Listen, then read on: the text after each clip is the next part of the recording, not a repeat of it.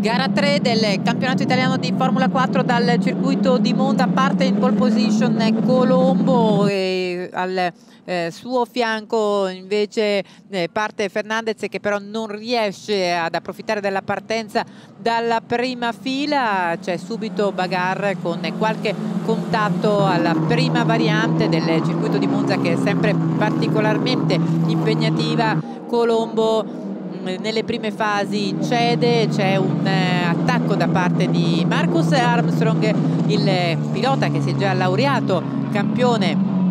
dell'Italian Formula 4 2017 con due gare di anticipo. Questo è uno dei momenti cruciali perché eh, Petrov Artem che aveva eh,